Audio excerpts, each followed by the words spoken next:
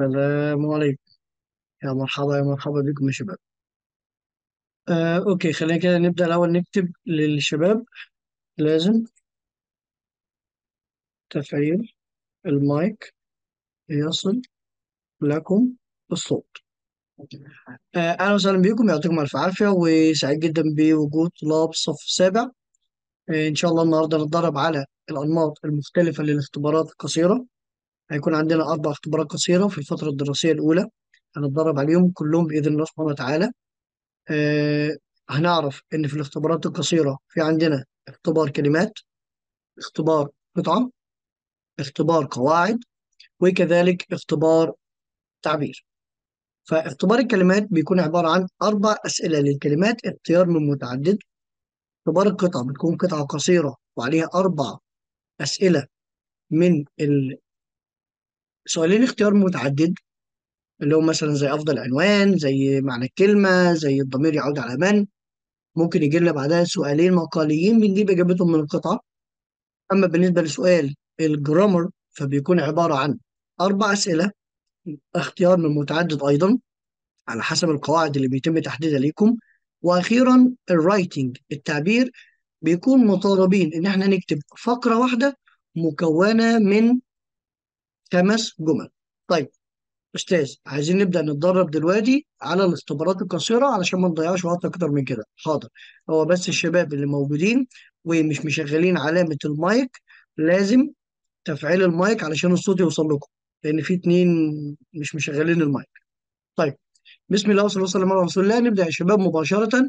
اللي معاه مذكرة اشرح لي يقدر يفتح صفحة رقم 66 الاختبارات القصيرة. إيه... تو لا okay. نبدأ مع أول نمط للاختبارات اللي ممكن نتدرب عليه. وأنا كده دلوقتي هبدأ أسمح إن المايكات ممكن تفتحوها ولكن محدش يفتح المايك بتاعه إلا لما يرفع علامة الإيد وانادي اسمه ويبدأ يتكلم معانا إن شاء الله. يعطيكم ألف عافية وشكرا لكم مقدما. اختبار الكلمات. أستاذ هي الكلمات أو القطعة متحدد مين فيهم الامتحان الأول ومين الامتحان الثاني ومين الامتحان الثالث؟ لا. أي يعني كل أقسام اللغة الإنجليزية وتوجيه اللغة الإنجليزية سايب الموضوع مطلق الحرية للمدارس وللإدارات. مثلا ممكن يبدأوا بالقطعه ممكن يبدأوا بالكلمات ممكن يبدأوا بالتعبير ممكن يبدأوا بالقواعد. عادي التاني يبقى واحد تاني مفيش مشكلة. يبقى إحنا عندنا أربع اختبارات ومفيش ترتيب معين على حسب المدارس. طيب. طب الكلمات ممكن تبقى من أي وحدات؟ يعني مثلا لو الاختبار الأولاني هو الكلمات في الغالب الأستاذ هيقول لكم الأبلة عندنا الكلمات يا أولاد في الامتحان unit 1 و unit 2 لو آه مثلا الكلمات دي جت بعد unit 5 ولا حاجة ممكن يقول لكم الوحده الخامسة والرابعة ومعاهم الثالثه كلمات. على حسب أنتوا قطعتوا قد إيه من المنهج وعلى حسب ما الأستاذ أو الأبلة بيحددوا ليكم. طب والتعبير يا أستاذ ممكن يجي من أي وحدات؟ برضه على حسب الأستاذ. يعني ممكن التعبير أغلب المدارس بتخلي التعبير ده آخر امتحان. فممكن يكون تعبير الخاص بيكم مثلا لو هو بعد الوحدة في الوحدة السادسة مثلا أو في الوحدة الرابعة فيقول لكم مثلا الموضوع التعبير من الوحدة الثالثة والرابعة أو الثالثة والرابعة والخامسة أو يقولوا لكم مباشرة اسماء الموضوعات فالاختبارات على حسب الأستاذ أو الأبلة اللي في المدرسة هيحددوا ليكم هو من أي وحدات وشكله إيه. الشكل أنا هدربكم عليه. إنما هيجي منين من المنهج؟ ده اللي الأستاذ اللي في المدرسة يقول لكم عليه. نبدأ مع أول نمط للأسئلة في الاختبارات القصيرة. أول حاجة عندنا سؤال الكلمات. سؤال الكلمات يا ولاد عبارة عن أربع أسئلة اختيار من متعدد. كل سؤال عليه نص درجة. أربع أسئلة اختيار من متعدد كل سؤال عليه نص درجة. طيب يعني الاختبار القصير للكلمات كله عليه درجتين؟ بالظبط كده. تعالوا نبدأ مع بعض وأنا عايز ناس حلوة منكم كده ترفع علامة الإيد وتبدأ تقرأ معايا. ولو في كلمات مش عارفين معناها أنا هساعد وأقول معناها عشان نقدر نوصل للإجابة الصحيحة. نبدأ مع الأستاذ هو كان أحمد أنت رافع إيدك. ليه نزلت إيدك؟ يلا يا أحمد. Hello, السلام عليكم. عليكم السلام ورحمة After, الله وبركاته. after the accident, Selma cannot move around without her wheelchair. صح إجابتك صحيحة. شكرا يا أحمد. After the accident بعد الحادث سلمى can't move around without سلمى ما تقدرش تتحرك من غير wheelchair من غير الكرسي المتحرك. شكرا. آه ال user المكتوب آيفون محمد. number 2 أنا صقر أستاذ. إيه ازيك يا صقر. اتفضل يا صقر بخير الحمد لله. Our team players our team.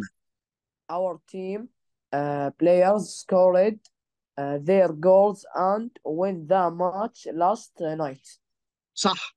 Our team players فريق أو لاعبين فريقنا طالما عندي 3 goals أهداف يبقى على طول اختار معاه scored. Our team players scored 3 goals and won the match last night. وفازوا بالمباراة ليلة أمس. أستاذ زياد محمد رقم ثلاثة اتفضل. السلام عليكم. My brother loves loves riding horses. He wants to join. Uh, club يا ترى إيه اللي هيكون مرتبط بال riding horses دي من كلمات الوحدة الثالثه أنتوا لسه ما درستوهاش. إحنا عندنا equestrian الفروسية delicious لذيذ temporary مؤقت lively حيوي equestrian. صح. طالما عندنا riding horses يبقى مباشرة نختار equestrian club. يعطيك الف عافية زياد. مين يقدر يروح لنا لرقم أربعة يا شباب؟ ها في دلوقتي صقر وزياد وأحمد قرأوا هل في حد جديد ممكن يشارك معانا من الحلوين اللي موجودين؟ ها؟ iPhone 7 طب أنت مين يا iPhone 7 ما أنا قلت نكتب الأسماء بالعربي عشان يبقى سهل. اتفضل. السلام عليكم أستاذ. عليكم السلام. ده first سؤال الحين أكيد اتفضل. A clever uh, teacher and uh, covenanted convenient? امم uh, to dive safely. إيه رأيك؟ الغواصين محتاجين معلم شاطر ويا ترى إيه ملائم أو مناسب to dive safely عشان يغوصوا بأمان. Equipment referee operation canteen كانتين مقصف. الباقيين أنتوا المفروض حافظينهم. إيه رأيك؟ Uh, referee. referee referee. حكم مباراة. انت اسمك إيه الأول؟ Equipment. طب برضه اسمك إيه؟ Uh, سعود. سعود. عايش الأسامي يا سعود. إجابتك صح. المرة دي هتبقى equipment هي الإجابة صح. Divers need a clever teacher and convenient equipment to dive safely. يبقى الغواصين محتاجين معلم كويس ومعدات ملائمة للغوص بأمان. يبقى ده النمط الأولاني أو الشكل الأولاني لاختبار الكلمات القصير. واللي معاه المذكرة أو اللي عايز يبقى يجيب المذكرة بعد كده في كمان نموذجين آخرين للكلمات نقدر نتدرب عليهم. وموجود في مذكرة تدريبات أو أي مصدر تتدربوا عليه كلمات المهم دلوقتي إنكم عرفتوا إن الكلمات للاختصار القصير هي جملة وتحتها أربع اختيارات A B C D. وبالتالي أنا أتدرب على قد ما أقدر طالما قالوا لي اختبار كلمات من الوحدات كذا هم دول اللي اتدرب عليهم. طيب أستاذ قالوا لنا عندنا اختبار قصير للقطعة. هنحله إزاي؟ الموضوع بسيط إن شاء الله. شوفوا يا شباب. واحد إحنا بتجيلنا القطعة صغيرة ما بتجيش قطعة كبيرة. ده واحد. اتنين القطعة بيكون عليها أربع أسئلة. سؤالين اختيار من متعدد. ممكن يجي لنا عن best title أفضل عنوان. ممكن يجي لنا بداله main idea فكرة رئيسية. ممكن يجي لنا ضمير ويقول لك it تعود على من قبلها.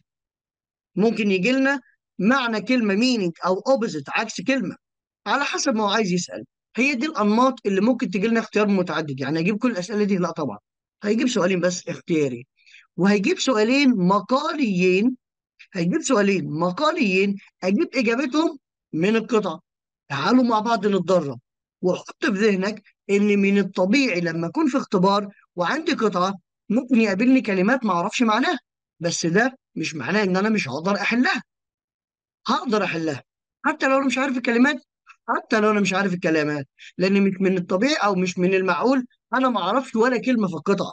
أكيد هفهم من هنا أو من هنا. تعالوا نشوف القطعة دي بتقول إيه. When you walk on sand عندما تمشي على الرمال you leave footprints. الناس تركز معايا. أنت بتترك آثار أقدام behind you خلفك.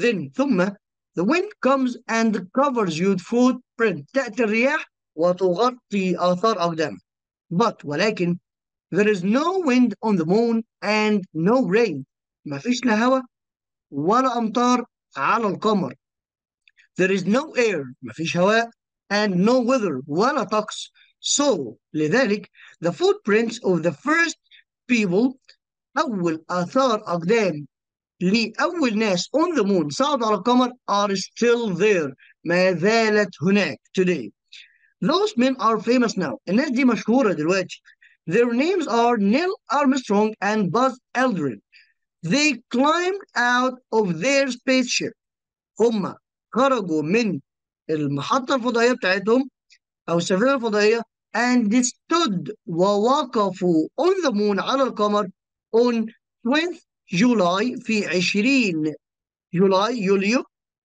1969 سنة 1969 They looked around and saw no living things. نظروا حواليهم ما لقوش أي حياة The ground was dark and dark gray and dusty. كانت الأرض مطربة وداستي الصوت بيقطع الصوت فيه مشكلة عندكم يا شباب؟ طيب. And the sky was black والسماء كانت سوداء. They could see earth in the sky. هم قدروا يشوفوا الأرض من السماء. It was blue and white. It was blue and white. ده كان لونها أزرق وأبيض. دي القطعة بتاعتنا. تدريب. تعالى بقى نشوف الأسئلة اللي عندنا. اللي جايز يجاوب معايا يرفع علامة الإيد The best title for the text could be أفضل عنوان للنص ده إيه؟ The first people to the moon traveling to Mars gravity on Earth the weather on the moon. طيب الناس اللي رفع دي هم جاوبوا معايا بالفعل سابقا. هل ممكن ألاقي ناس جديدة؟ أستاذة أمينة إيه رأيك؟ أفضل عنوان؟ The first people to the moon. أول ناس صعدت للقمر وأنا أتفق معاكي. إحنا ما بنتكلمش عن السفر لل- للمريخ ولا بنتكلم عن الجاذبية على الكرة الأرضية ولا بنتكلم عن الطقس اللي على القمر. إنما بنتكلم عن أول ناس طلعت للقمر وسابوا ال footprints بتاعتهم. طيب جونيير ولا الاسم إيه؟ جونير جونير أيوة. wow what name طيب إيه رأيك يا جونير ال pronoun it الضمير it يعود على من؟ Ground sky moon earth. It was blue and white. يا ترى بيعود على earth هرجع أكملها ground. أنا بر... ما أنا بجيب لك الاختيارات أهو. Ground وسكاي ومون وايرث وادي سكاي ومون فين مون فين مون هو فين المون؟ والله ما أنا شايف ال moon. شكله بعيد قوي. آه، آه. هتعود على هتعود على سكاي هتقعد على سكاي طيب خلينا كده. It was blue and white. إنها كانت بيضاء وزرقاء. Sky was blue and white للقمر. لا مش للقمر للسكاي للسما. بس أنا ما اتفقش معاكي. اقرأ كده الجملة اللي قبلها. They could see earth in the sky. هم قدروا يشوفوا إيه؟ الأرض في السماء كملي. It was blue and white. كانت بيضاء وزرقاء. مين اللي كانت بيضاء وزرقاء؟ الأرض. فعشان كده هم قدروا يشوفوها في السماء الأرض. يبقى, يبقى الإت تعود على من؟ Earth. يبقى نخلي بالنا. لما أنا آجي آه، يا جونير آجي أشوف الضمير يعود على من لازم أتأكد إن الضمير ده فعلا بيعود على الحاجة دي. طب أتأكد إزاي؟ أحط الكلمة مكان الضمير. ولما أقرأ الإجابة لو لقيت المعنى صحيح يبقى دي الإجابة الصحيحة. طيب يبقى هنا إجابتنا هتبقى earth. طب هل هل في ضمير تاني ممكن؟ your little brain and there comes your your footprints there is no wind on the moon. There is no so the footprints are still there. There. مين شاطر يقول لي؟ شكرا يا جونير سواء أنا هنزل علامات الإيد للكل. يا بسم الله ما شاء الله. ده في عدد كبير حاضر معانا. ده أنتوا نورتونا والله. مين شاطر يقول لي there uh, there is no هي راحت فين اللي أنا كنت عايز أسأل عليها. There is no آه the first people are still there هناك. There دي تعود على من؟ مين شاطر يقول لي؟ There تعود على من؟ أمينة؟ Uh, there في البداية ولا في الثانية؟ there دي اهدى Uh, So okay. the footprints of the first people on the moon are still there today. Uh, first people in the moon are still. لا زياد It refers to the fo- footprints of the people. still there today. there معناها ايه اسم بالعربي يا زياد؟ There معناها آه، ذلك. لا مش دي فاتتك دي يا برنس جونير معناها هناك. صح. يعني عايزة مكان. يبقى تعود على مين؟ footprints. لا. محمد عمر. آه moon moon. صح. تعود على moon يا أستاذ؟ محمد وجونير صح. There تعود على moon. There هناك هتعود على القمر. مكان يعود عليه يعطيكم ألف عافية. طيب لو أنا سألت their names their names تعود على مين؟ their names تعود على مين في الجملة اللي قبلها دي؟ their names their دي تعود على من؟ يوسف محمد.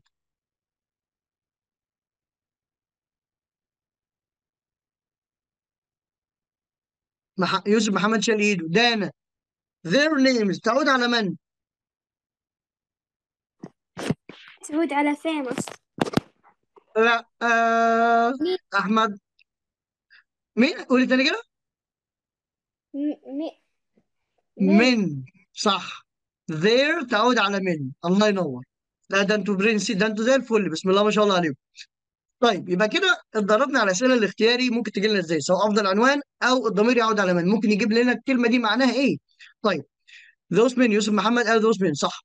ممكن يجي لنا بعد كده أسئلة مقالية. What are footprints of آه سوري المفروض هنا آه why. ده سؤال مكتوب بالغلط. Why لماذا؟ Why are footprints still on the moon هي ليه آثار الأقدام لسه موجودة على القمر مين يجاوب لنا السؤال ده صقر إيه رأيك why are the footprints are still on the moon The footprints of the first people on the moon are still there today. دي مش الإجابة لحد دلوقتي أنت ما قلتش السبب The, why لماذا أيوه these men are famous new لا مش ده السبب. خلينا أسمع كده من زياد.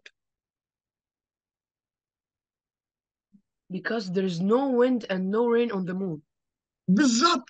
Because there is no wind and rain on the moon. بكل بساطة لما بدأ قال لما بتمشي على الرمال ال footprints اللي بتسيبها الهواء بيجي يمشيها. وبعدين دخل قال but there is no wind on the moon and no rain. لا في هواء ولا في رياح ولا في أمطار. وقال لك لذلك so the footprints of the first people on the moon are still there. آثار الأقدام بتاعتهم لسه موجودة هناك.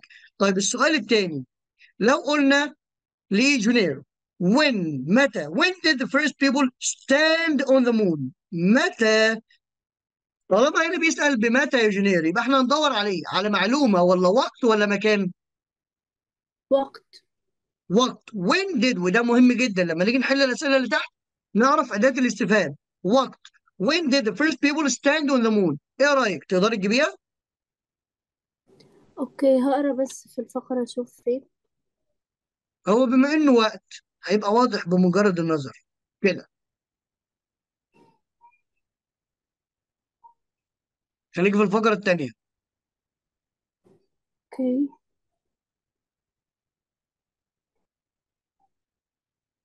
آه، اللي هي جود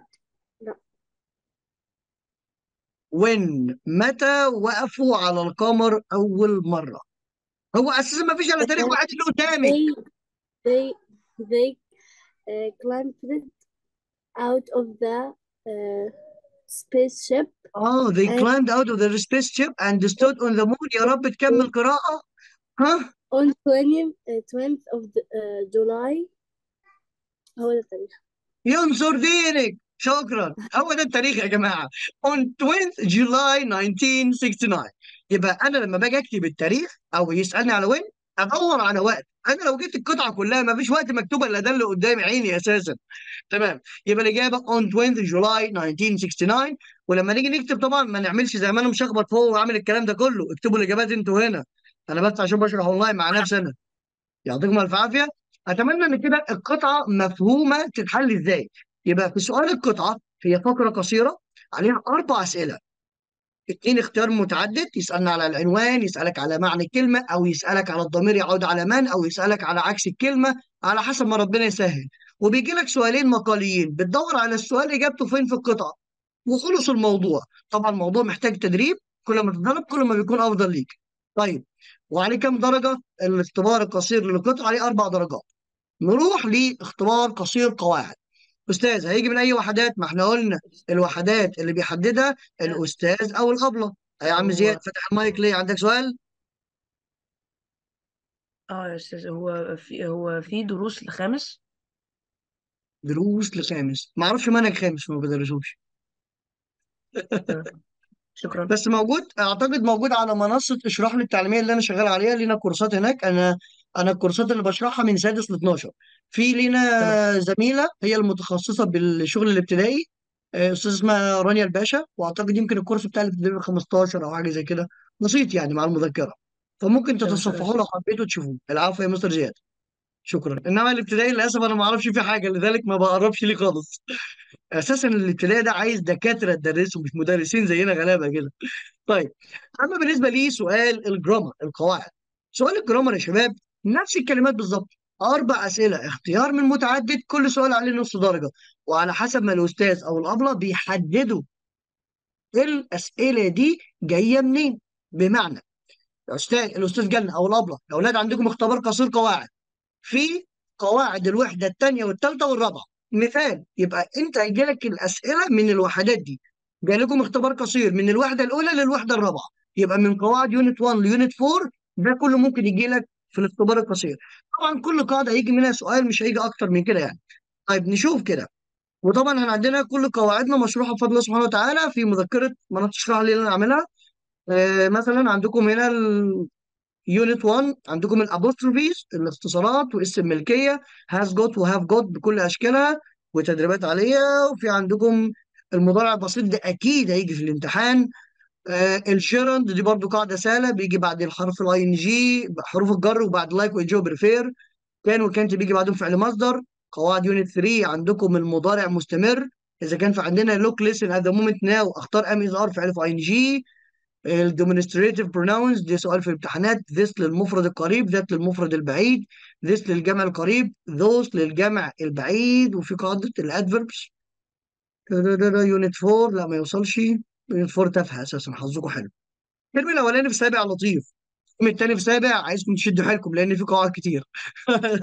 نروح لأول سؤال. وناخد selected people كده حلوين رافعين ايديهم ما فيش ناس تانية غير الناس الحلوة اللي رافعة إيدها ديت. يعني زياد جاوب صاري جاوب دانا جاوبت أحمد جاوب. ما فيش ناس جديدة. الناس اللي نايمة معانا دي جانا موجودة عائشة موجودة مبارك موجود محمد عمر موجود آه في ثلاثة ايفون ما أعرفش هم مين. في 2013 23 في ثائر الناس دي مش عايزة تشارك معانا. حياكم يا جماعة. طيب أحمد اقرا رقم واحد يا أحمد؟ A footballer always uh, uses his feet uh, only to move the ball uh, ac- uh, ac- across uh, the football uh.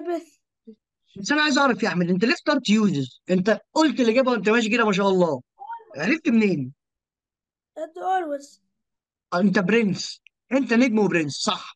إحنا عندنا كلمة always دليل على زمن المضارع البسيط يبقى باختصار القاعدة. طالما عندي دليل على المضارع البسيط عندي footballer مفرد يبقى أنا محتاج فعل في s خلصت أختار uses شكرا يا أستاذ أحمد. جنى.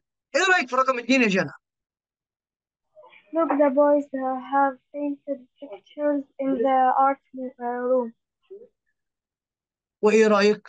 طالما عندي look يبقى أكيد دليل على المضارع المستمر اللي بيتكون من am و is و are وفعل في ing طب أنت عندك boys يا جنى يبقى تختار مين؟ Ah, are بس ولا are painting are painting. تسلمي يا جنى. كده صح. يبقى أنا عندي الكلمة الداله على الزمن مهمة لأن هي اللي بتعرفني أختار إيه. لما شفنا مع أحمد always عرفنا إن ده دليل على زمن المضارع البسيط. لما شفنا مع جانا look عرفنا إن ده دليل على زمن المضارع المستمر. فاخترنا بناء عليه شكل الزمن. طيب ممكن الأستاذة دانا إيه رأيك في رقم ثلاثة قاعدة has got و have got درستوها في يونت 1 My friend has got a calculator. حاسبه and and I have لا. ليه ما انت عارف تضربيني يا بنت طب ما تفكري في حاجة تانية كده. ها؟ Have عايز أقول I. شاطر. قولها تاني بقى كده الإجابة. So ha so have I. صح. أنت عارفة ليه؟ لأن إحنا ليه لما بيجي لنا قاعدة has got و have got خلينا اوديك الشرح سريعا كده عشان تبقى عارفاها. لما بيجي لنا has got و have got وأنا عايز أقول له وكذلك أنا I have got a smartphone. فأنا عايز أقول له وأنا كمان. فبقول له so have I so have I. إنما لو أنا عندي نفي I haven't got a smartphone فبجاوبه بإيه؟ Neither أو neither have I. ودول لازم أكون حافظهم يا دانا إنما I have I haven't دي للنفي إن أنا معايا أو معيش. إنما أنا عايز أقول له وكذلك أنا. طب ليه أنا عايز أقول so have I لأن الجملة مثبتة. الجملة بتاعتك إيه؟ فيها have got أو has got مثبتة. فبتجاوبي ب so have I. تعالي كده نرجع لسؤالنا. كنا في صفحة باين 66 أيوه أهي. شوفي كده. My friend has got. جملة مثبتة. فأنا هقول so have I. الثلاثه دولت ما ينفعوش معانا. تمام. شكرا يا دانا يعطيك ألف عافية. طيب أستاذة أمينة إيه رأيك في رقم You هي طبعا can القاعدة دي لسه ما خدتوهاش بس هنحاول نحلها إن شاء الله. يلا يلا بينا you can display your wo- work in tables uh, over the three. Over there. كلمة over there معناها هناك. هو أنا أنا لما أقول هناك يا أمينة يبقى الحاجة دي قريبة مني ولا بعيدة؟ بعيدة. شاطرة. طيب كلمة tables مفرد ولا جمع؟ جمع. يبقى أنا عايز أداة تشير إلى جمع بعيد. في القاعدة ديت إن شاء الله تدرسوها يمكن في الوحده الثالثه أو الوحده الرابعة هتعرفي إن this للقريب وذيس للقريب. يفضل لي اتنين. ذات للبعيد للمفرد وذوز للبعيد للجمع. طب بناء على الاتنين دول تختاري مين؟ بعيد جمع. يبقى عايز مين؟ Number B. قصدك دي؟ those عادي صح الاس تنطق زد هنا. those شكرا. وبالشكل ده يا أولاد بنجاوب سؤال اختبار على بنجاوب أسئلة اختبار على القواعد القصيرة. بيجي لنا أربع أسئلة اختيار متعدد على حسب القواعد اللي أنتوا درستوها. بتيجي بالأنماط دي. تمام. وتدرسوه كويس وتتدربوا عليها عدل طيب آخر اختبار بيكون عندكم طبعا أو بنتدرب عليه النهارده هو اختبار التعبير. مطلوب منكم في التعبير نكتب فقرة واحدة مكونة من خمس جمل. إيه ده؟ مش مطلوب مخطط؟ مش مطلوب مخطط. مطلوب نكتب فقرتين؟ مش مطلوب نكتب فقرتين. القصير فقرة واحدة خمس جمل فقط. Write a short paragraph of not less than five sentences. اهو موجود في مواصفات التوجيه سابع. يكتب خمس جمل. عليه كام درجة؟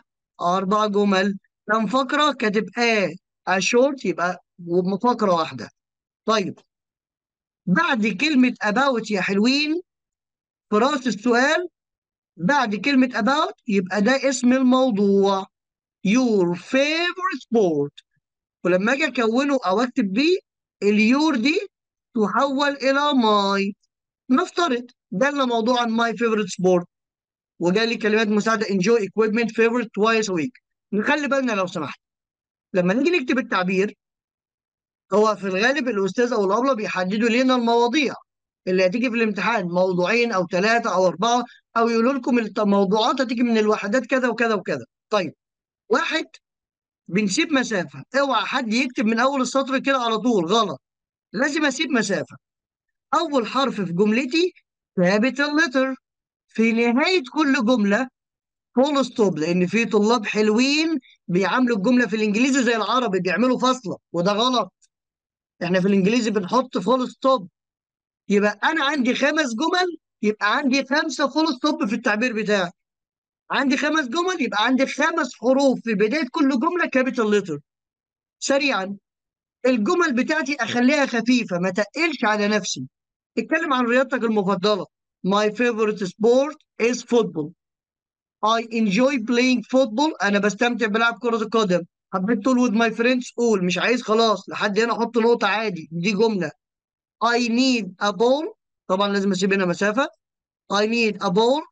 And a good pair of football boots to play football. أنا محتاج كل وزوجين من الأحذية عشان ألعب كرة القدم.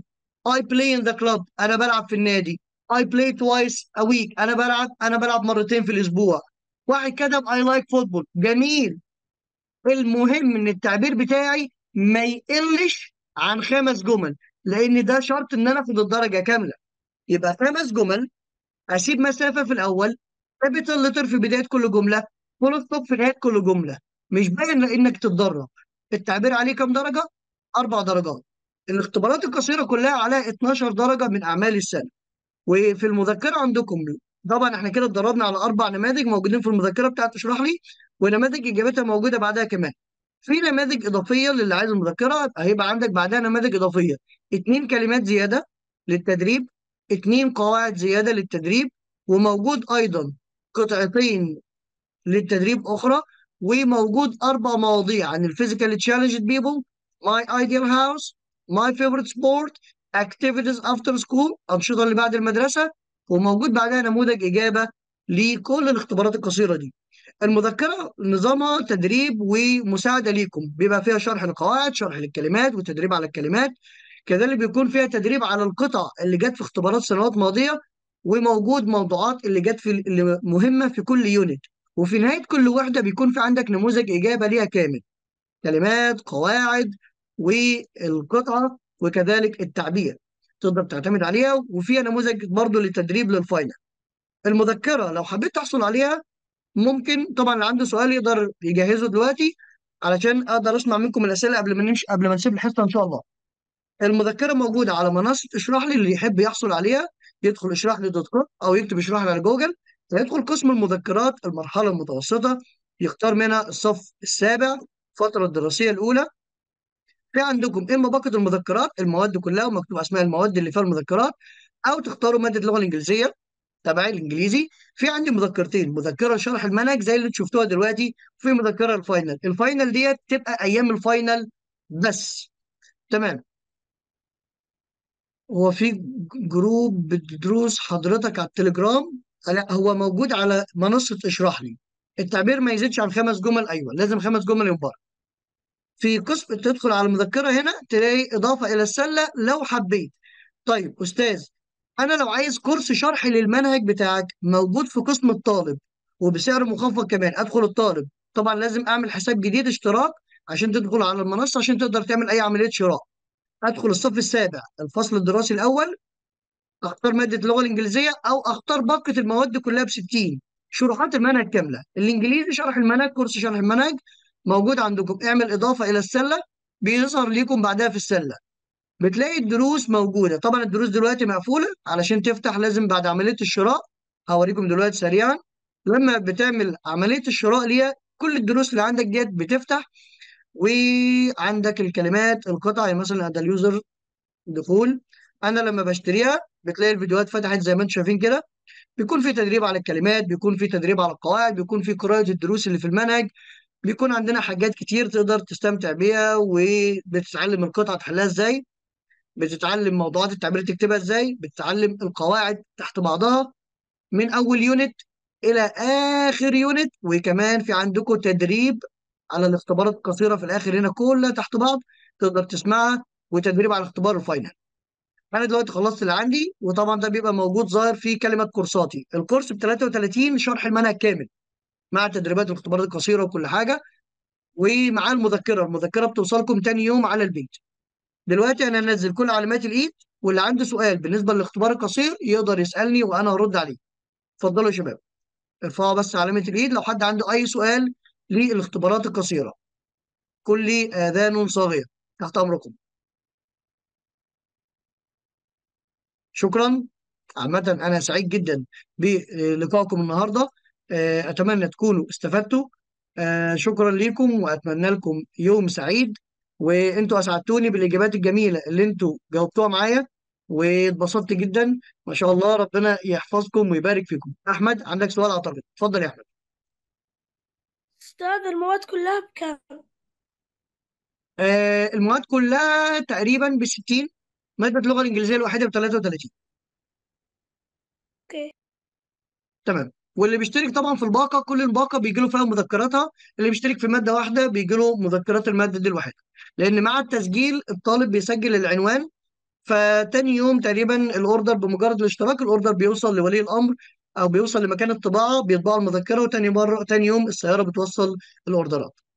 يعطيكم ألف عافية. شكرا لحضوركم الطيب. أسعدتوني. أتمنى اكون افدتكم ولو بالقليل في أمان الله. مع السلامة يا شباب. يعطيكم الف عافية.